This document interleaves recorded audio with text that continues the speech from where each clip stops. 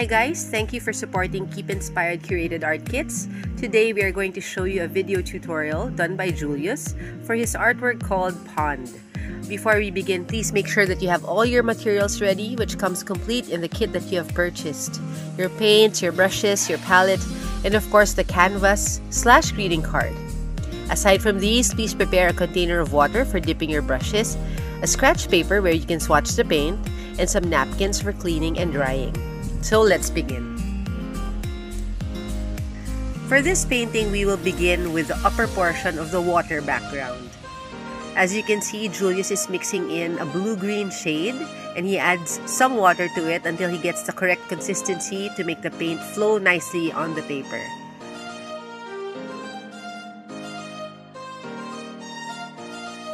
And here you will see him using downward strokes which help create that water effect.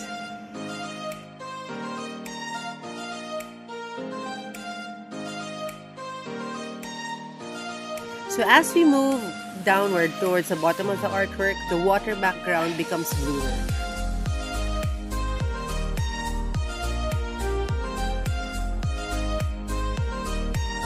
So at this point, we'll be adding in more blue into the mixture that we've created. So again, the strokes that we will be doing are downward strokes.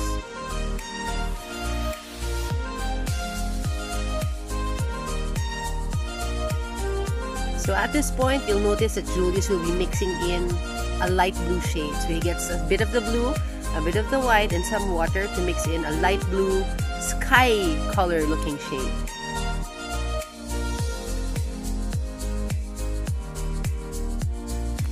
Okay, so just trace around the lily pads and the lotus flower and just keep on using downward strokes.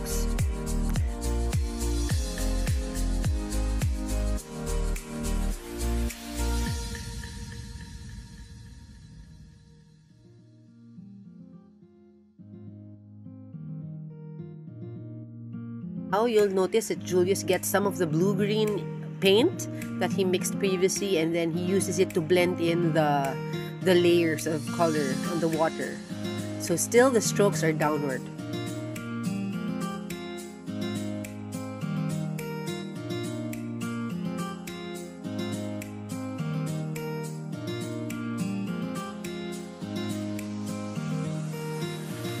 So at this point, let's wait for our painting to dry. So right now, we will be working on the lilies. Before we paint on the yellow-green lilies, we have to layer it with white paint first. So as you can see, Julius is using white paint to bring back the shape or trace back the shape of the lilies.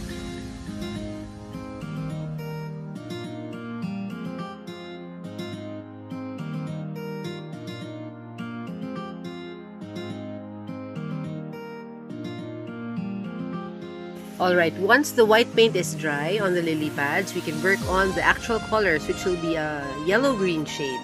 Okay, so to create that yellow-green shade, just get a bit of green and some yellow, adjust it accordingly, and add some water.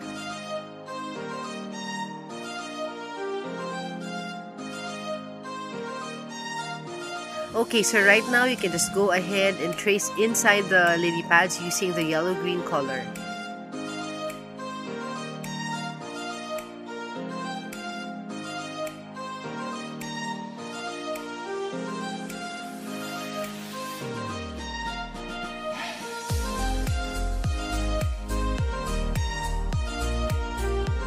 Okay, so once we've completed the set of lilies on the upper part of the artwork, uh, let's wait out a bit and let it dry. Now it's time to work on the lower part of the painting which involves more lilies.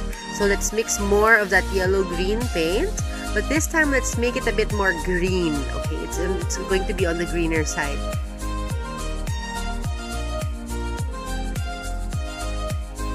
So once you've mixed that paint, let's go ahead and paint on the sketches of the lilies.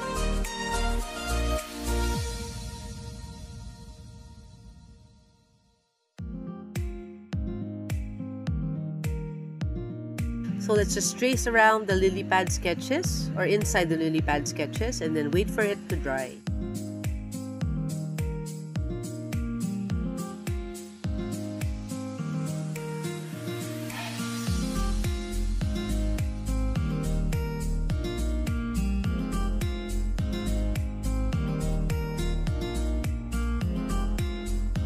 Okay, so right now we will be working on the shadows of the lily pads so to achieve that, we must uh, mix in a dark green shade. So we'll get some of the green and some of the brown until we come up with a dark brown uh, and green mixture.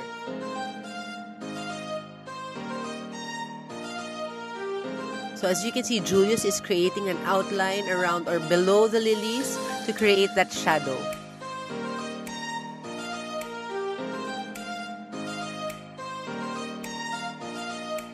So continue doing that um, until all the lilies have been outlined. So let's continue by adding in more details uh, for the lilies. So you'll see Julius here painting a triangular shape on each of the lilies using the dark uh, green-brown shade that he previously mixed for the outlines.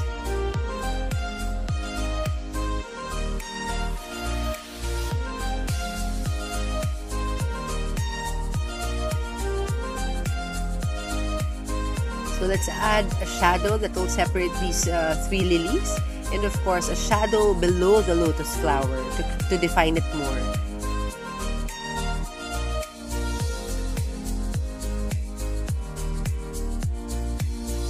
So now we will be working on the ripples uh, on the water. So you can see Julius will be mixing in sort of a violet uh, color. So by mixing in some blue and a tiny bit of red.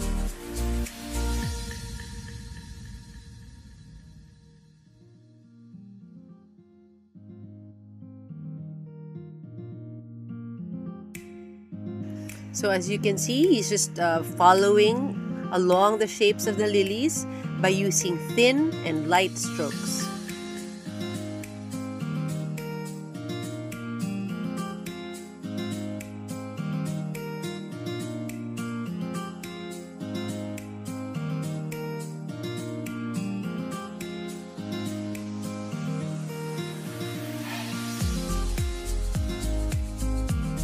So for the upper part of the painting, we can also create ripples by uh, using the same purple shade and doing light uh, strokes.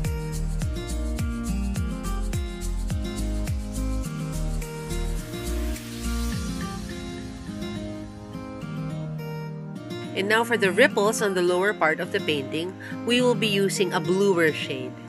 And following the same uh, instructions that we did for the upper part, we will just create the ripples by uh, following the shapes of the lilies. So we'll be using light and thin strokes.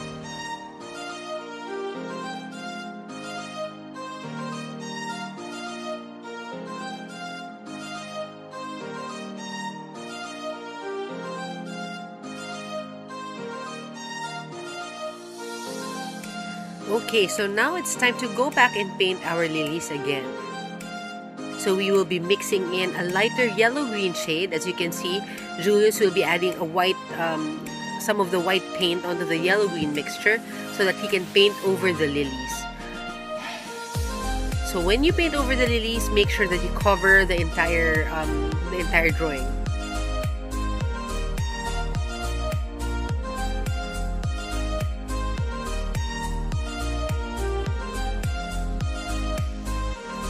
Now it's time to work on more details for the lilies that are located on the upper part of the artwork. We will be mixing in a lighter uh, yellow-green shade.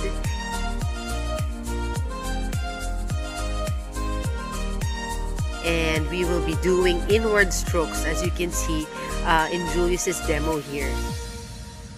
So you'll notice that he usually starts off with the edge of the lilies and then he works his way inward towards the center to create those strokes.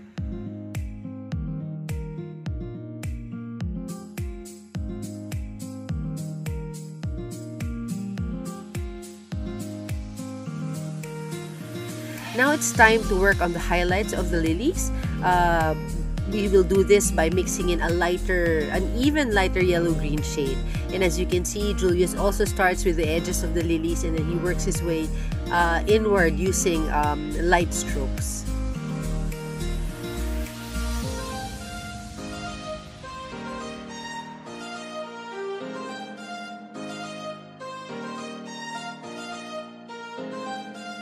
So now it's time to work on the lilies on the lower part of the painting.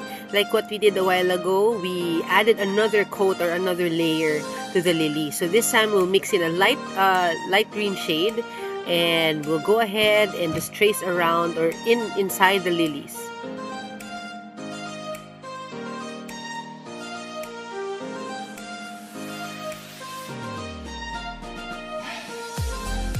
So right now we can also do that inward pattern that we've uh, been doing for the lilies that we've painted a while ago.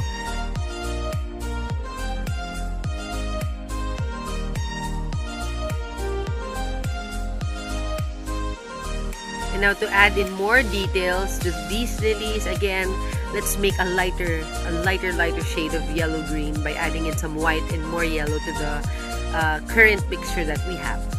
He's just applying linear strokes that are aimed towards the center of the lilies. And at this point, let's work again on the ripples. So let's mix in a light blue shade some of that blue, some of that white, and of course some water. And we will retrace those ripples that we've created in the upper portion of the painting. As you can see, Julius is just using thin, uh, light strokes.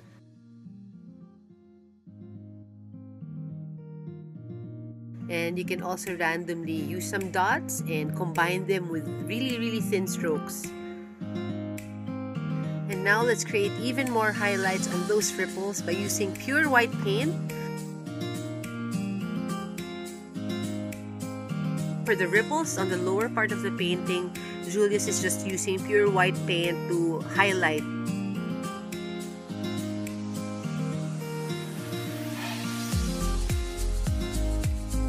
And as you can see, he's also using the pure white paint to add some highlights on the lilies.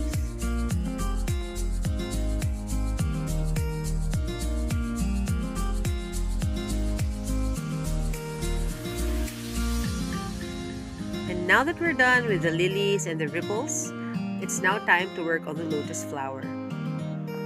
So the shades that we will be working with for the lotus flower would be like dark pink and light pink. So let's start off by mixing in a dark pink color. So let's start off by painting in the petals at the back portion of the lotus and you'll notice that we are painting it petal by petal. Now that we're done with the back part of the lotus flower, let's now work our way towards the center. So you'll be mixing in some white onto the current mixture to create a lighter pink. So once you create that, we can go ahead and paint in uh, the next layer of petals. And now that we're approaching the middle part, let's create an even more lighter pink by adding more white to the paint mixture that we just created. So go ahead and paint in that uh, center portion of the lotus flower.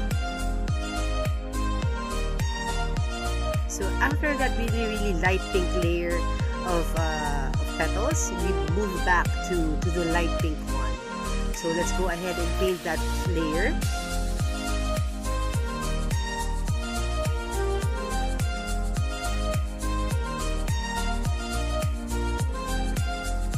And for the final layer of the lotus flower, let's use the dark, uh, the dark pink paint that we created a while ago.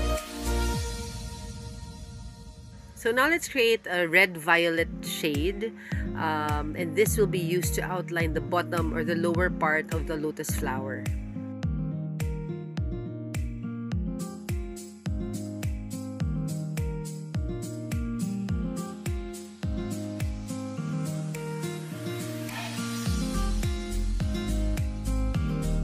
And now for the finishing touches for the lotus flower, let's use some pure white paint. As you can see, Julius is just using uh, linear strokes that are uh, moving towards the center of the lotus flower. And now let's mix some orange or yellow-orange color that will be used uh, for the center part of the lotus flower.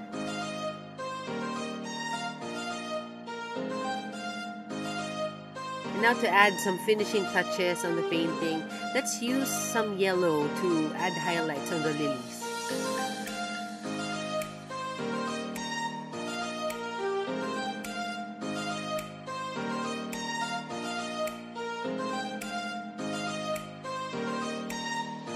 So now let's add some dark brown to our light green paint mixture to create a shadow just right below the lotus flower.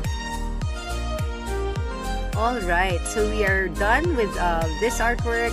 Again, this is Pond by Julius Segaspi for Keep Inspired Curated Art Kits. Uh, once your painting is all dried up, don't forget to sign it uh, in front and at the back, of course. And we encourage you to please write on it and give it away as a card. And of course, don't forget to upload your work. We'd love to see what you did with your kits. Uh, don't forget to tag us. Our social media pages are at keepinspired.artkits. We hope you enjoyed our session, and that's it. We hope we have kept you inspired. Thank you.